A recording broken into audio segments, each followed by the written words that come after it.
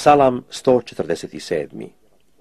Hvalite gospoda, jer je slatko pjevati Boga našega, jer blagome prilikuje hvala. Gospod zida Jeruzalem, sabira rasijane sinove Izraelove. Iscijeljuje one koji su skrušena srca i liječi tuge njihove. Izbraja mnoštvo zvijezda i sve ih zove imenom. Velik je gospod naš i velika je krijepost njegova i razumu njegovu nema mjere. Prihvata smjerne gospod, a bezbožne ponižava do zemlje. Redom pjevajte gospodu hvalu, udarajte Bogu našemu u gusle. On zastire nebo oblacima, sprema zemlji dažd, čini te raste na gorama trava. Daje stoci piću njezinu i vranićima koji viču k njemu.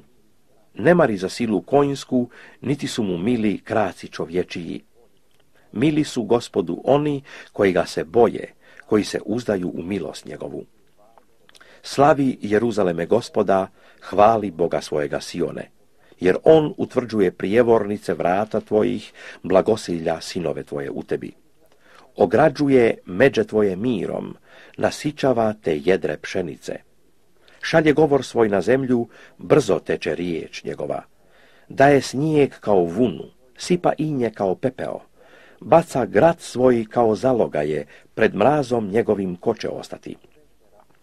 Pošlje riječ svoju i sve se raskravi, dune duhom svojim i poteknu vode. On je javio riječ svoju Jakovu, naredbe i sudove svoje Izraelu. Ovo nije učinio ni jednom drugom narodu i sudova njegovih oni ne znaju.